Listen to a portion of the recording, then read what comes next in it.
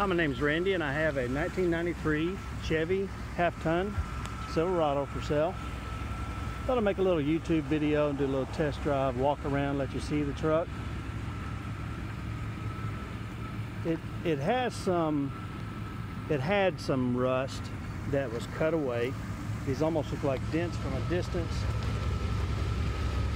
but it's actually been just cut away there's a few there are a couple of dents here and there and a little bit of uh, paint fading.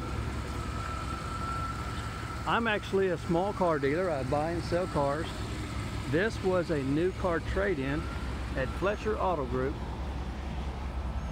up in northwest Arkansas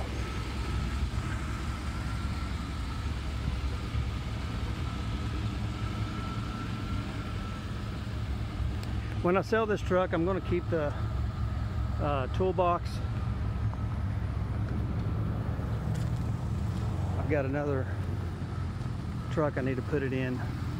So the toolbox does not come with it. The um, ball hitch does not come with it. Has, it come out of Missouri. Uh, Fletcher's right on the borderline of Missouri and uh, Arkansas. Has aftermarket tail lights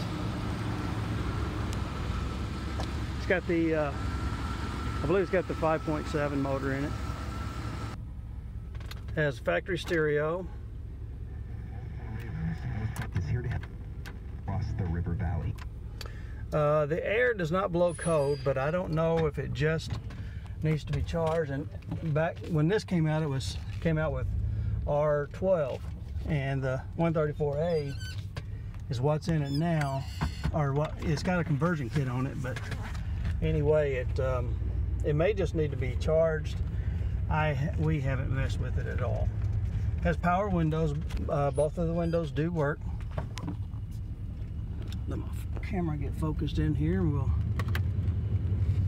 take this on a little test drive. That's 1520, 2530,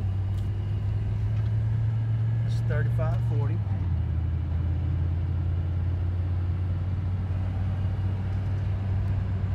650. There it shifted through all the gears. It's an overdrive now. I'm practically going 55. I'm in a small town right now, so I can't really go too fast. But I drove this on the interstate just recently. Took it on a two and a half hour trip. I even had a small trailer hooked up to it. Um, it does great. It, it, runs and drives really well. I would drive it anywhere. Uh, no overheating, anything like that.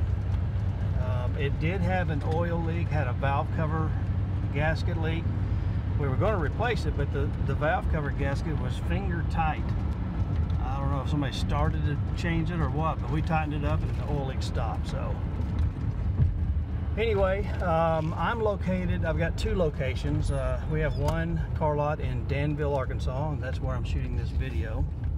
I have another car lot in um, uh, next to Blue Mountain Lake, uh, which is halfway between Booneville and Danville on Highway 10.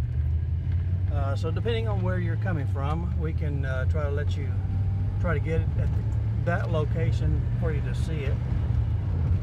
But um, anyway, that's the truck.